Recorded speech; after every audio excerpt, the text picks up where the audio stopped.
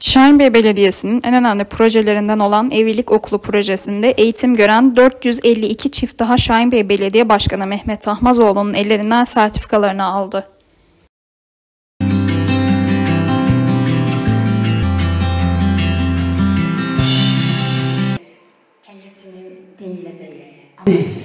Hiçbir şekilde aynı bulamazsınız. Acaba ben mesajımı oluştururken doğru